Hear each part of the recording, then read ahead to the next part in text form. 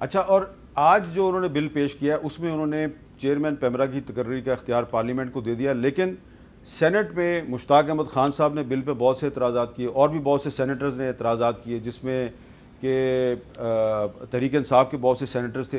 तो अब मेरी इतला के मुताबिक, वो जो तहरीक इंसाफ के सेनेटर्स हैं, उन्होंने प्रेसिडेंट ऑफ़ पाकिस्तान से ये गुजारिश की है कि ये बिल आपके पास आ रहा है। साइन करने पास हो गया सेनेट से। सेनेट से पास हो गया। अच्छा। कौमी असम्बली से भी आज दोबारा पास हो गया। अच्छा। तो प्रेसिडेंट साहब से कहा गया कि आप इस पर साइन ना करें। तो अगर प्रेसिडेंट साइन नहीं करते फिर क्या होगा?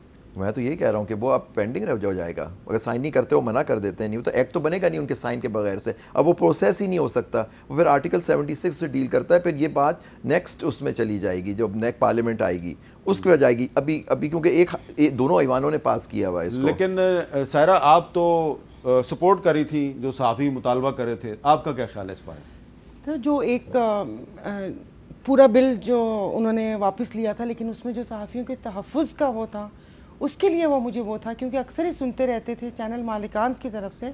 और आई एम सॉरी मैंने एक दफ़ा नीचे भी एहतजाज देखा था आपके एंकर तो नहीं सॉरी ये साफ़ी जर्नलिस्ट ये सब ये यहाँ पर एहतजाज कर रहे थे कि उसके लिए कि वाकई उनके तहफ़ के लिए कोई चीज़ होनी चाहिए कि जो चैनल मालिकान अब तो वो कहते हैं ना कि प्योर सहाफ़त तो बहुत कम रह गई है अब तो बिल्डर्स कॉन्ट्रैक्टर्स बेकरी वाले सब ऐसे आ, तो वो बस उसके लिए मुझे वो था कि नहीं उनके तहफ़ होना हाँ, चाहिए जिस तरह से इतनी महँगाई हुई है।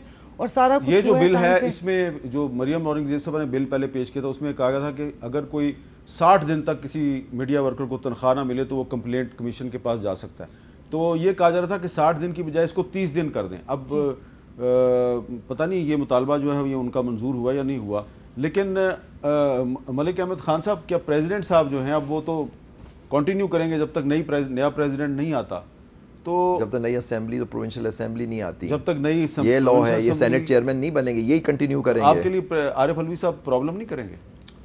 ये तो होंगे नहीं। देखिए sir as as head of the state उनके कुछ फ़ंक्शंस हैं जो उनको परफॉर्म करने चाहिए और ऐसा तरीके से करने चाहिए। उनका पार्टीजन होना या पीटीआई के सेनेटर्स की बात सुन के अपने अपना माइंड अप्लाई किए बगैर कुछ करना तो ये एक बड़ी बुरी रवायत होगी। अब head of the state president partisan इस पर लाहौर हाई कोर्ट का असदारी साहब वाले केस में आपके इल्म में जो एक फ़ैसला है, वो भी सामने है। सुप्रीम कोर्ट की भी उसकी सर्टन ऑब्जर्वेशन हैं जुबैरी साहब उसको जानते हैं। मेरा यहाँ पे थोड़ा उजलत में की गई कानून साजी, चाहे वो कोई भी है।